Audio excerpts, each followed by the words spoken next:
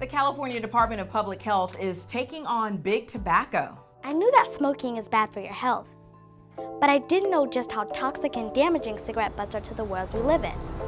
It's the 10 year anniversary of the Tobacco Control Act, which is historic legislation banning all flavored cigarettes except menthol. Hmm. So while smoking has been declining in the U.S., sales of menthol cigarettes have steadily increased, especially among new and young smokers. But with the focus on smoke free laws and tobacco control, California's smoking rates decreased four times faster than the rest of the country, saving $134 billion in healthcare costs. Wow. Unfortunately, tobacco control experts say big tobacco companies have aggressively advertised menthols to minority populations, which has always been the case.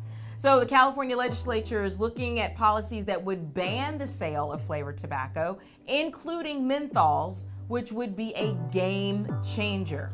To learn more information, visit tobaccofreeca.com.